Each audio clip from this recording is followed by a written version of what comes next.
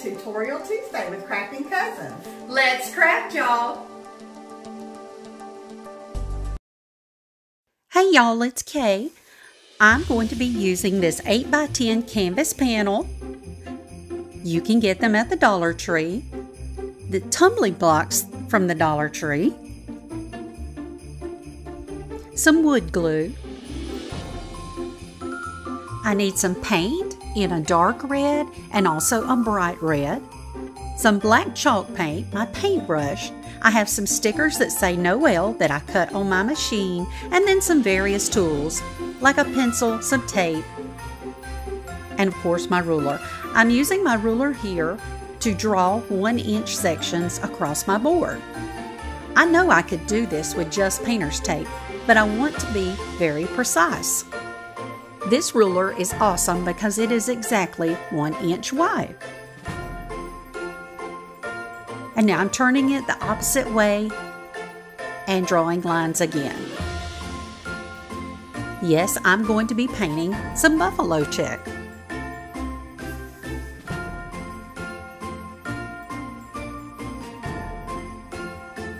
And now I'm giving my entire canvas board a shade of bright red. Just want to cover the entire board and then let it dry. And now I'm coming in with my painter's tape. I did make one mistake. My painter's tape isn't exactly one inch wide, but that's okay. I'm just going to use two stripes on each section. Because my board is only 8 by 10, it won't take very long. So if you notice, I've turned it now horizontal and I'm doing every other stripe in the blue tape painter's tape. And now I'm going to turn it the opposite way and do more strips of blue painter's tape, giving it a checkerboard effect.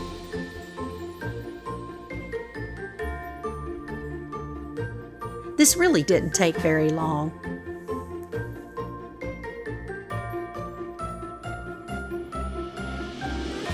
I'm careful to burnish it down because I don't want too much bleeding through.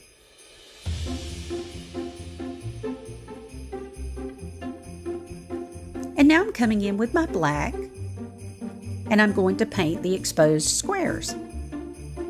I'm using black chalk paint because that's what I had on hand and it dries very quickly. If you just kind of dab the paint on, with a chippy brush, you don't have any bleed through at all. Have you tried this technique before? And while it's still somewhat wet, I'm going to go ahead and remove my tape. I know that there are easier ways to do this, but this is just my favorite method. Now I'm going back and I'm going to cover up all of the black and come in with my dark red. In Buffalo Check, there's really only two colors. You could make this dark red paint by using a little brown in the red you already have. But since I had it, I decided I would use it. And again, I'm just dabbing it in.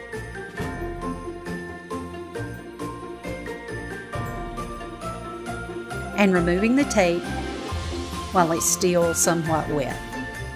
And in between each color, I always let it dry thoroughly. And if you notice, we still have one more step to go. Now I'm coming in and I'm covering up where I painted the dark red, making sure that my tape is wide enough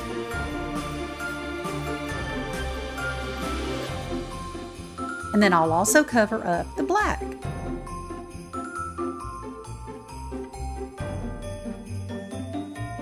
And back in with the dark red again.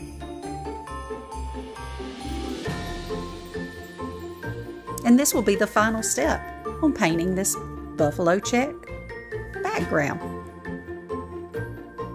So I'm removing the tape There is nothing more satisfying than removing that tape. And now for the frame. I'm going to use my tumbling blocks and a little wood glue and connect them together in such a fashion. This square that I'm using came from the Dollar Tree. It has been invaluable. And then I want to connect five in a row twice and four in a row twice. And then I put them back in my square to make a frame. I just hold mine to the glue kind of sets and then I just use a little painter's tape to help it along and I leave it overnight to dry. I want to make sure that my frame is square.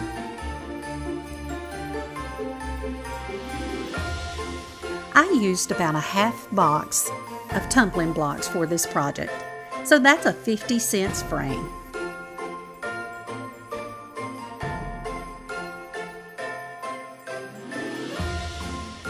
Now that my frame is dry, I'm going to put on black chalk paint and cover all the little nooks and crannies. I only needed one coat and I didn't even use a base coat of paint. Now I'm using my letters that say Noel. I cut those on a cameo silhouette and I'm just lining them up in the center and burnishing them down with a popsicle stick. Now it's time to attach the frame. A little hot glue and place it down. And there it is. I love how this turned out. It is going to be so beautiful on my mantle at Christmas. Thank you for stopping by our channel today. If you're new here, we hope you will subscribe by clicking on the red subscribe below. Make sure you ring the bell when it comes up, and YouTube will let you know every time we upload new content. We upload videos five days per week offering a variety of DIYs, trash to treasure projects, paper crafting, hauls, and craft show information. We just know you will find something you like here at Crafting Cousins. For our second project, we're going to need some twine. I got this at the Dollar Tree. Some glue, just all-purpose white glue. Some really tiny balloons. These came from the Dollar Tree and they are actually water balloons. I need a bowl. I'm using a popsicle stick as a stirrer. And I need a little water. I have some extra cups that I'm going to be putting our ornaments on to dry. And a couple of bows from my stash to add to the end project. I'm blowing up my balloon, keeping as much of a round shape as possible, tie a knot at the top. And then I'm going to take my glue and start mixing it in my bowl with my water. You want about a one to one ratio, half glue, half water. And I just mix and stir until I get exactly what I want. Because you don't want the glue solution to be too watered down. And now I'm taking my twine and I'm going to soak it in my glue. It always takes about twice as much as I first think it's going to take. And now I'm going to tie my twine in a knot at the top of my balloon to secure it. And then I just lather the glue around the balloon to help hold it on. And then I just start rolling it around my balloon in a random pattern.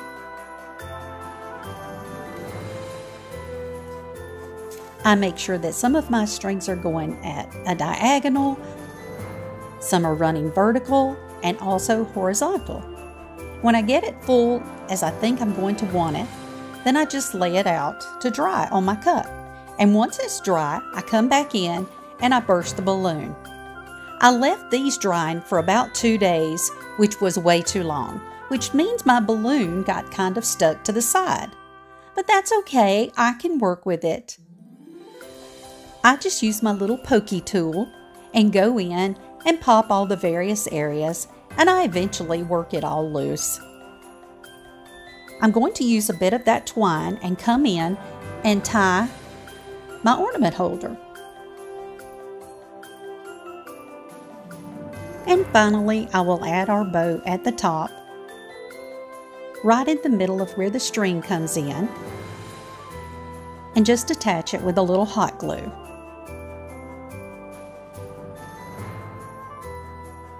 And there they hang. I love how these turned out. I have about six made, and of course, I'm going to make a whole bunch more. Thank you so much for watching. If you saw something you liked, I hope you'll give us a big thumbs up. Leave us a comment and let us know what you think and any suggestions you might have for us. We would love for you to tune in all week for Made It Mondays, Tutorial Tuesdays, either a Hump Day Hauls or a Wednesdays, Trash to Treasure Thursday, and then finish off the week with Craft Chat on Saturday mornings. See you tomorrow!